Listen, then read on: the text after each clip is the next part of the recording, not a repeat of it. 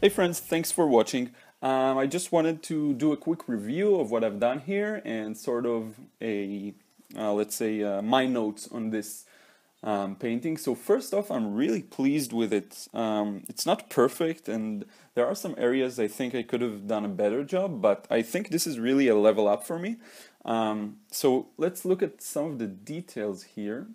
Um, the main point of interest in this drawing is definitely the um, I think the huge difference in the values here between the left side of the barn and the right side here. Um, I think I got that right. Um, in the reference photo, it wasn't more extreme, it was something like that. Um, and then when you zoom out, you can see that it creates a, a, an overall nice composition uh, with the um, really white here of the roof and then this dark side and it's all surrounded by darker uh, values. There's this uh, small details here of the trees in the distance uh, which I really like. They add a nice touch uh, and interest to it. Um, the skies, I really like the way they turned out and I think um, I owe it to this uh, genius blue streak that I did here and um, it makes it a whole lot more interesting. Now, I used mainly three or four colors in this painting.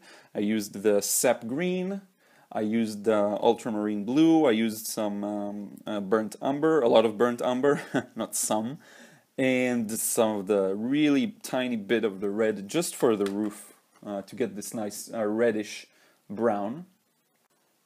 Okay, what I like more about this one, um, aside from those things, is the way I did this entire area. Now, usually with these uh, large grassy patches, I usually really mess up, and this time I think I got it really good. Now, of course, it's uneven, the wash, but um, I think that's just part of it. If I'd worked from top to bottom, it could have been better, but what I got right is the values, and for that I'm extremely happy sorry, um, because usually I just try to do something really stupid and listen carefully because this is what I'd usually try and do.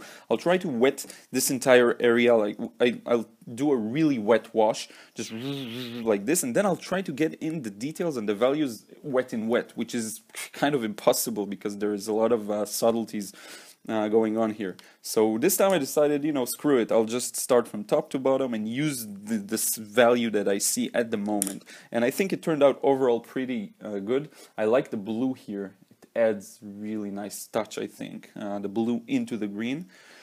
Uh, what else is interesting? I think that's it. Um, that's all there is to it.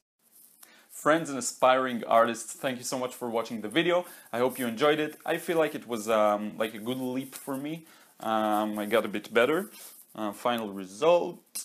And yes, thanks again for watching. Um, subscribe if you enjoyed. Leave a comment. Feel free to ask any questions. And don't forget Snapchat and Instagram, super important.